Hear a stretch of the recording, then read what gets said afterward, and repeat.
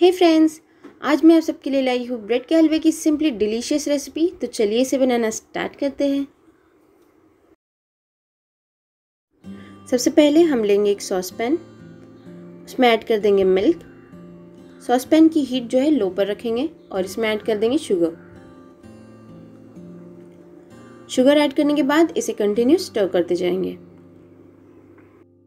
सारे इंग्रेडिएंट्स और उनके प्रपोर्शंस मैंने डिस्क्रिप्शन बॉक्स में डाल दिए हैं। आप वहाँ जाके चेक कर सकते हैं। इसे थिक होने तक हमें कुक करना है, इसलिए अब मैं इसे किसी और गैस पर ट्रांसफ़र कर रही हूँ ताकि ये वहाँ पर स्लो कुक हो सके।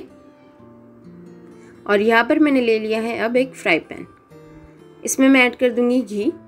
घी ऑप्शनल है, आप चाहे तो ऑयल भी ले सकते हैं, लेकिन घी की वजह से हलवे का जो स्वाद है वो बढ़ जाता है। घी जैसे ही एक मीडियम लो हीट पर गर्म होता है, अब इसमें मैं ऐड कर दूँगी ब्रेड के स्लाइसेस एक एक करके हमें ऐड करते जाना है और इन्हें फ्राई करते जाना है. लो से मीडियम हीट पर इन्हें फ्राई करना है, ताकि इन्हें एक अच्छा सा गोल्डन ब्राउन कलर आ सके. आप चाहें तो इसे तवे पर भी घी में फ्राई कर सकते हैं, लेकिन इस तरीके से फ्राई करने की वजह यह है कि जब हम इसे फ्राई करेंगे तो ये क्रिस्पी भी होंगे और इन्हें एक अच्छा सा कलर भी आ जाएगा. तो आपकी मर्ज़ी है, आप जैसे भी फ्राई करें, दोनों ही तरीक़ों में हलवा टेस्टी बनेगा। अब आप देख सकते हैं, इन्हें अलट पलट कर मैंने इस तरीके से गोल्डन ब्राउन होने तक फ्राई कर लिया है। और इसी तरीके से मैं बाकी ब्रेड स्लाइसेस को भी फ्राई कर लूँगी। ये देखिए, ये बिल्कुल तैयार है। यहाँ पर बाकी के ब्रेड स्लाइसेस भी फ्राई होके रेडी हो चुके हैं तो चलिए इन्हें लेयर करते हैं। हमारा मिल्क जो है, वो थिक होके रेडी हो चुका है। अब यहाँ पर एक वाइट बेस का इस तरीके का मैंने पैन लिया है, जिसमें हम इन्हें लेयर कर देंगे। आप चाहे तो कढ़ाई में भी इसे लेयर कर सकते हैं। इस तरीके से इन्हें लेयर करने की वजह यह है कि जब हम इसके अंदर मिल्क को पोर करेंगे तो ब्रेड के एक एक स्लाइस में मिल्क जो है अच्छे से एब्जॉर्ब होना चाहिए। अब मैं इसमें मिल्क को पोर कर दूँगी। ये अभी भी गर्म है और गर्म ही इसमें ऐड कर देना है हमें। ये देखिए, इस तरीके से हमें मिल्क को पोर कर देना है।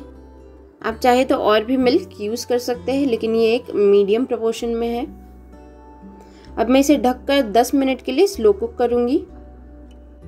तो चलिए 10 मिनट हो चुके हैं, इसे खोलकर चेक करते हैं। ये देखिए दोस्तों मिल्क जो है ब्रेड के स्लाइसेस में अच्छे से एब्जॉर्ब हो चुका है। आप देख सकते हैं ये कितने पफ हो चुके हैं। अब इन्हें स्पैचुला की हेल्प से इस तरीके से काटते हुए मिक्स करना है हमें और भूनते जाना है इसके बाद। ये देखिए इस तरीके से। और इसे तब तक भूनना है जब तक हमारे ब्रेड के हलवे का कलर जो है गोल्डन ब्राउनिश ना हो जाए। इसे भूनते हुए मुझे पाँच मिनट हो चुके हैं लगभग। अब इसमें मैं ऐड कर दूँगी इलायची पाउडर और फिर इसे भूनूँगी दस मिनट के लिए कंटिन्यू स्टर करते हुए, तब तक जब तक इसे ब्राउन कलर ना आ जाए। ये देखिए, इस तरीके से इसे मैश करते हुए हमें भूनना है। इसका घी भी रिलीज़ होना स्टार्ट हो चुका है।